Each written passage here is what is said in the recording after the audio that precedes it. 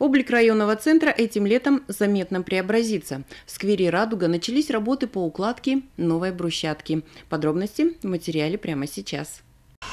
Таких масштабных строительных работ в сквере «Радуга» не проводилось с момента его основания. Сегодня рабочие продолжают укладывать э, бордюры, и совсем скоро здесь появится новая брусчатка. Реконструкция пешеходных дорожек началась 15 июня и по плану продлится один месяц. Бетонное покрытие здесь не менялось более десятка лет. В нашем архиве сохранилась видеосъемка строительства первого в районе парка отдыха.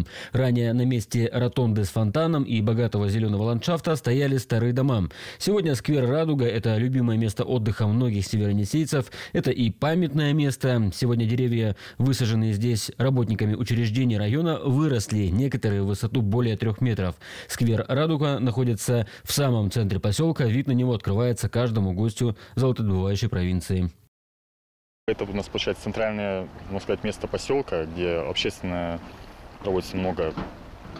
Ну, люди, в общем, здесь отдыхают, и вот это существующее покрытие бетонное, оно уже пришло в негодность. И выглядит оно, во-первых, непрезентабельно, неудобно, постоянно сыпется.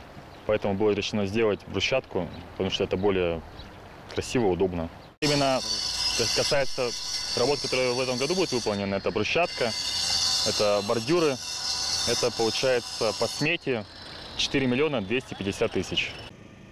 Благоустройство парка будет продолжаться и в будущем. Сегодня видно, что здесь просела одна из бетонных лестниц. Также проводятся ежегодные малярные работы. Ну а строительство новых пешеходных дорожек должно закончиться не позднее 14 июля. Всего же на ремонт этого года будет потрачено 687 квадратных метров брусчатки и 1218 тротуарных бордюров. Артем Поздняков, Александр Ескин, Северо-Енисейская информационная служба.